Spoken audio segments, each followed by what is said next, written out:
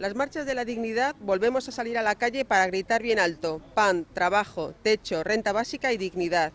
Salimos a la calle porque nos encontramos ante una situación extremadamente difícil, una situación límite, de emergencia social, que nos convoca a dar una respuesta colectiva y masiva de la clase trabajadora, la mayoría social y los pueblos.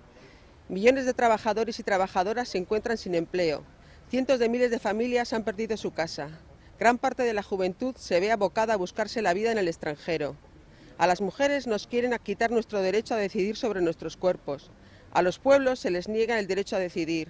Sigue recortando en salud, educación, dependencia. Han engañado a nuestros mayores con la estafa bancaria de las preferentes.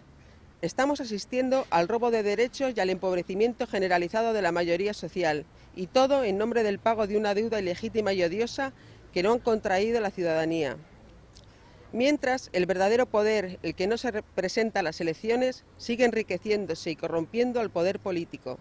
Siguen llevándose dinero a los paraísos fiscales, usando tarjetas opacas y regalando decenas de miles de millones de dinero público, dinero que sale de nuestros impuestos para salvar a bancos y especuladores. Nos quieren hacer tragar un tratado de libre comercio entre la Unión Europea y Estados Unidos, que se negocia secretamente y que beneficia a las grandes multinacionales a costa del pueblo.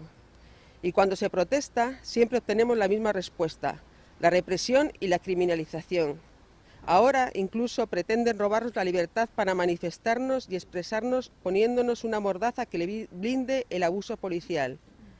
No solo están aprovechando la crisis para recortar derechos sociales, también intentan suprimir libertades democráticas, a este sistema corrupto e indecente le sobran las libertades y los derechos de la mayoría social.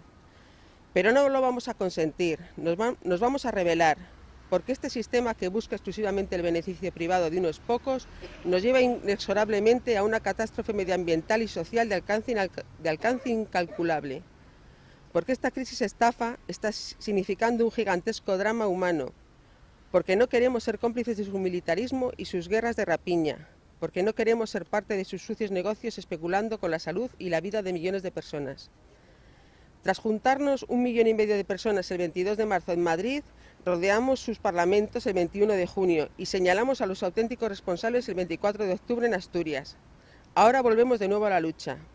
Hacemos un nuevo llamamiento a la movilización social en la semana del 24 al 29 de noviembre, en la que hemos convocado movilizaciones por el empleo digno, por una renta básica, por los servicios públicos y de calidad, por el derecho a la vivienda y la dación en pago, por las libertades democráticas, por unos presupuestos participativos en las administraciones públicas, contra el pago de la deuda odiosa, el paro, la precariedad, los recortes, el Tratado Internacional de Libre Comercio, la corrupción, el régimen del 78, la represión y, por supuesto, el 25N contra la violencia machista hacia las mujeres.